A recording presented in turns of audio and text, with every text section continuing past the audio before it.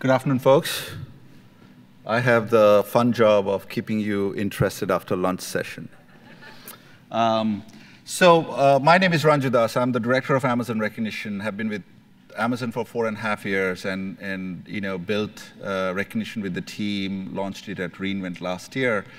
Um, what I have been really uh, been uh, involved with in the last few weeks, at least, and and months thereupon, is uh, the nonprofits and how we can have a meaningful impact with AI and the nonprofit. And that's been a, a really uh, personally uh, useful for me. And, and, I thank the team for uh, involving me in these discussions.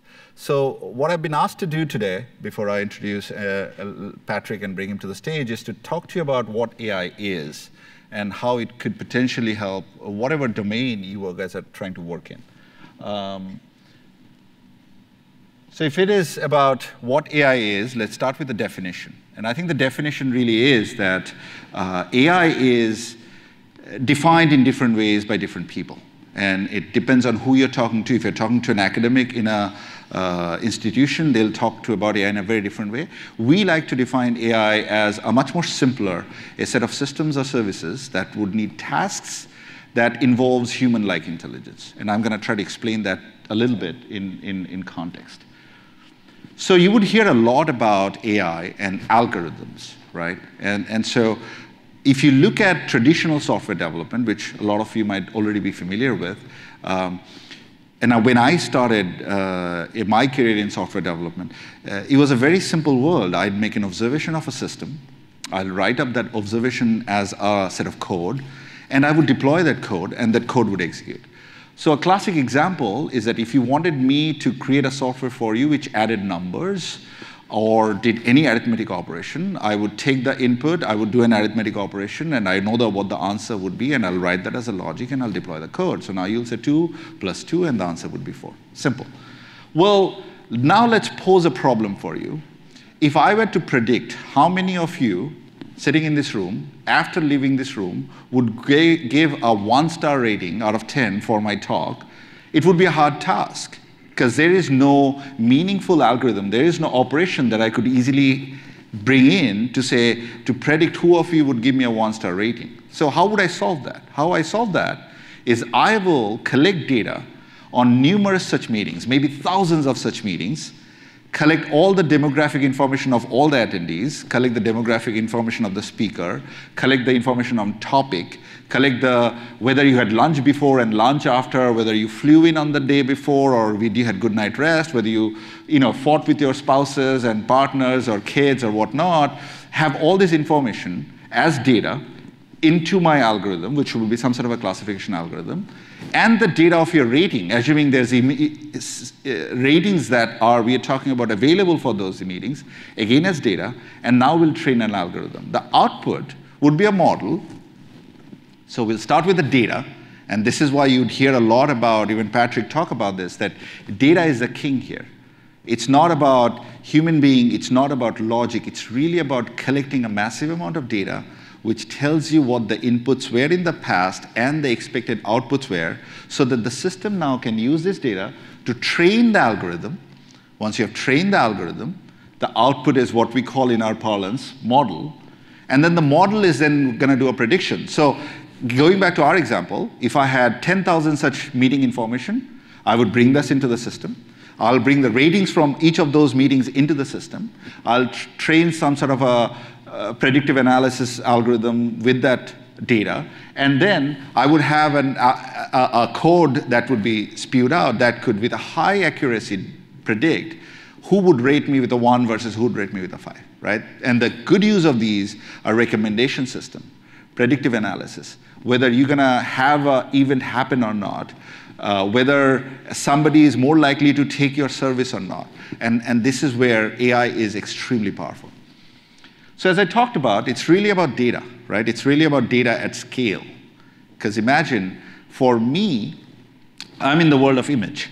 So the simple task of trying to train an algorithm, a classification algorithm, to learn whether there's a cat or a dog or a car in an image, let's say those are the only three classes I need to recognize, I would need to bring images of cats, human annotated, that i.e. a human being has confirmed that there's a cat in this uh, image. I would need to get equal number of images of dogs where human being has identified there's a dog in this image. I need to get equal number of images of cars and bring all of this into the system and then the system would learn by itself. How it learns is that it goes through a process. It says, okay, I am predicting that this is a cat oh, by the way, the human being told me that's a dog, so I made a mistake. So I'm going to go back and see where I made a mistake and fix it myself until I reduce the error rate and I get to the output that I'm expecting, which is a cat, right? So you need a large amount of data for training these systems. So think in your business, in your domain, in your service, what data from the past, from the present, systems that you have, the data that it should be collecting and you're not collecting, think of that as you leave this room today. And this is where AWS plays a big part, right? A lot of you guys, how many of you uh, use AWS for your services or business? A lot of you, right? Most of you here. So we see a lot of existing data in AWS. We are seeing a very aggressive migration of data from traditional data centers to AWS, while we are seeing brand new data structures creating in AWS, data that didn't exist before, right? A startup like Airbnb can disrupt an industry that's old because they're built on AWS from day one. So once you do the data, well, as I said, the next step is for the training. And this, you need a large amount of compute power. You need elasticity. Why is elasticity important? Today, to train my models, I need about uh, millions, hundreds of millions of images, right? And in the early days, it used to take us two, three weeks to train a model with 100 million images. And I needed, let's say, 500 servers to do this training. Now, as you would get into this domain, you'd realize that you don't need training. Training is not like a banking transaction. You do once and then you're done with it. And then maybe you get new data in six months, nine months, three months, you do a full training again. Now, the cost of keeping this 500, 800 servers sitting there is something that most people cannot afford. And that's where elasticity is important. You want to get these servers, train quickly, and you can give up the server so that you don't have to carry on this cost forever. And then the idea is that when you try to use these AI machines, AI systems, there are a lot of platforms, a lot of engines, a lot of code, a lot of library. And you know, if you're not in the technical domain, you're people like me whose primary purpose of life is to confuse you, right? To keep you involved by saying, oh, you don't know, so you know, bring me in for two years and I'll solve your problem, which is really should be done in 30 seconds, right? I mean, that's how I made my living. So there you go, pre-built images, right? So everything is configured for you. Everything is there. Everything, the, the, the, the magic of setting up and configuring these systems are taken away. Um, and then once you have the model, so now you have the data, you have trained the, uh, trained the algorithm that you've chosen, you have a model, which is nothing but a binary code. Now you need to deploy the model so you could do the prediction. So now I would like to deploy the model. So for all the conferences that are happening today, I would like to know who would rate my speech one to five. And for all those who are one, I'll have a one-on-one -on -one conversation after this meeting.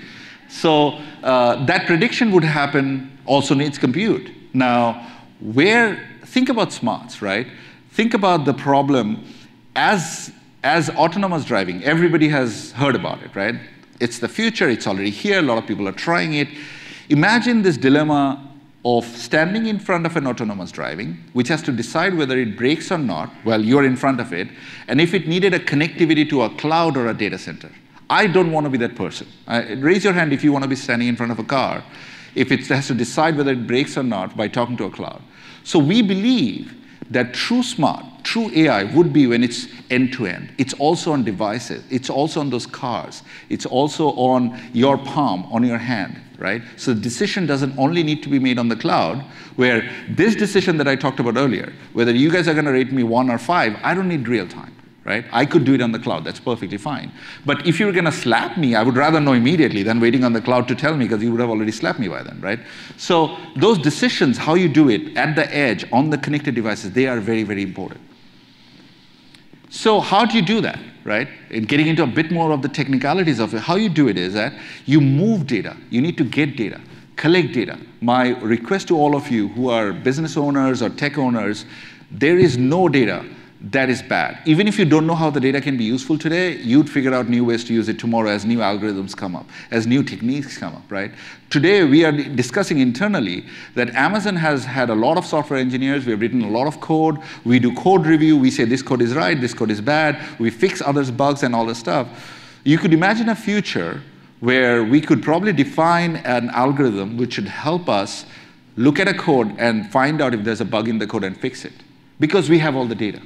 Now, if you didn't store on the data, it would have been almost impossible to train that algorithm.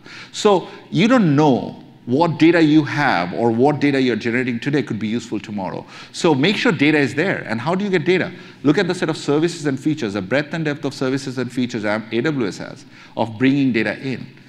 I really like, how many of you have heard of Snowball? Some of you. For those who don't know, Snowball is a very rugged appliance that AWS ships to your business so that you could connect it to your high uh, bandwidth network, move a lot of data in and ship it back. And it has a shipping label on it and it just magically shows up wherever you want to. So now moving massive amount of data from your data centers, which not be, or remote locations, or your field agents, which might not be all that well connected, is easy now because of this sort of breadth and depth of services AWS has for moving data. Once you move the data, you need to store the data, right? These are bits and bytes at the end of the day. Imagine at the end of the day, a lot of us had a living because we figured out how to represent stuff in zeros and ones. How funny. Um, those data needs to be stored. They need to be stored either in, in files or in databases or in data warehouse solutions. And again, these are all the solutions that AWS has today where you could store the data that your business is generating or your services are generating. Once you have all this data in, you need to process the data. You need to compute. You need to figure out how to process the data. A good example is I was uh, in charge of a, uh, uh, Fortune 500 retail based off the East Coast who mostly sell books. I'll leave it at that. Um, and um, we had a really big problem where we were trying to estimate uh, where the shipping would happen, and the numbers were, our, our predictions were all off. And uh, we looked at it and we realized that the problem was that billing address was swapped with shipping address. So instead of doing the assessment of where more shipping would happen, we were using people's billing address, which is most of the time very different than, you know, if they're shipping something to their family or to their uh, offices and whatnot. So once you have the data, you need to process the data. You need to compute data. And that, again, look at the set of services and, and capabilities AWS has. Uh, again, the depth and breadth is important. Um, and, and once you have that, well, then the next step is you could do AI, right? And then this is where we believe that we can help you guys in your, whatever your uh, destination is in that journey. Uh, and, and particularly in the nonprofit, we've already engaged with a bunch of you, all, working with you guys already. There's a lot we can do here because the AI enablement is new features, right? So now you can all of a sudden new features, new capabilities you could have. Alexa opens up doors which were not available to, to uh, people before, right? Um, new experience and product categories, brand new experiences. Like if you think of the Amazon Go store, it's, how many have heard of Amazon Go store? For those who haven't, it's a checkout free shopping experience. Ideal for people like me who are socially awkward, don't like human interaction. I could walk in, pick up whatever I need, come out. I don't have to talk to anybody. Um, and then breakthrough advances. This might be interesting for a lot of you here. Uh, I, I, like this example. This is a using computer vision to make uh, prediction, uh, early detection of diabetic complications, right, from retina scans. Now, doctors can do it today, but they need your state to be far more advanced for them to physically recognize these patterns from your retina scan. This is a, remember talked about the car, right? This is a autonomous driving company that have trained their model on AWS and then have deployed the model to the cars. Because again, you don't want the decision making or braking reliant on a cloud connectivity, right? Um, we have our own product. If you look at Alexa, the, the enablement of Alexa is AI. It's about AI allowing you to talk to a, uh, talk to a speaker like it's, you know, your uh, neighbor. Again, you know, I, I have a three-year-old at home. Um, one Sunday, she was really talking very sweetly. I walked in. I said, "What's happening, honey?" And she's like, "I'm not talking to you, Papa. I'm talking to Alexa." Uh, very rude, but uh, very effective.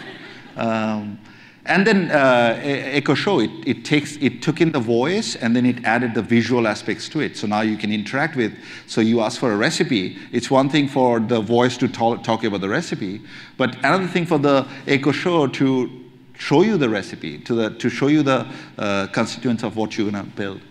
Um, and then Amazon Go, as I talked about, this is, again, a complete innovation that is possible because of AI. Now, why, how could you use AI today? And, and this kind of gets me to this uh, really nice code. You guys could read it. It's here, the future is here, and, and our job is to make sure that all of you can control the future. It's not only in the hand of this few data scientists and PhD. We want to enable this future in all of your hand. And so, whether you choose to use these services or not, it's really not important. The reason I, I, want to show you this is for you to live with this idea of how you can build your systems or influence your organization to build systems. When you're building AI systems, if you have big data scientist team, you need infrastructure. What does it mean? You need compute power, you need elasticity, you would hear the word GPU, CPU, all this funny stuff. That's at the infrastructure level. You need infrastructure access. If you um, if you don't want to deal with infrastructures, if you don't have the data scientists, and if your data scientists are not hardware engineers and don't know how to configure machines, you need to have access to engines. You need, and you'll hear a lot about this engine. You know, Google talks about TensorFlow. We support TensorFlow in AWS really well. We are ourselves investing on MXNet heavily because we think it scales very well. But there are other solutions like Caffe. Facebook recently supported Caffe too. They're all available in AWS today. So it's not only the uh, solution, the open source MXNet that we are investing on, we are equally investing on other solutions. Um, on the top level is platform. And the platform, the idea is you don't need to understand machine learning at all. As long as you know what data you have, you bring in data, you show it to the platform, platform generates output for you that creates AI models. And finally, the stack where I have built is managed services. If you need to recognize people's faces, if you need to compare faces, if you need to do voice interaction, you need to create lifelike speeches, you have managed services. You don't need to deal with any data. You don't need to deal with any machine learning expert. You just need to deal with APIs, right? So think of AI at this kind of layered cakes. And depending on your teams and your organization's capability, you might choose to interact at the different level of the stack. And these are all the sort of problems we are seeing getting solved with AI, right? Be it logistics, be it recommendation, be it Q&A, uh, a simple thing, AR, you know, I think there's a use case we talk about, AARP and Patrick could uh, talk about this, is this notion of using Lex, which is basically the voice interactive system, to do registration. So seniors a lot more, uh, no, it's not AARP, it's uh, American Heart Association, I'm sorry. They used, a, uh, AHA used uh, Lex, a voice interactive system, for their customers to do registration, instead of filling up complex forms and clicking and swiping. And the reason is, if you think of what we learned first is to move, and second is to talk. So any services that are using these basic skills that we have learned would likely be more successful, more viral than typing or swiping, which are not natural to us, by the way, as it so happens. So look at all the sort of things that AI can solve today. Risk. Is there a certain transaction higher risk for your business or not? You could do it today with AI. Um, with that, we'll leave the Q&A for the late. I'll invite Patrick to come over to the stage and uh, take on. Thank you, Patrick.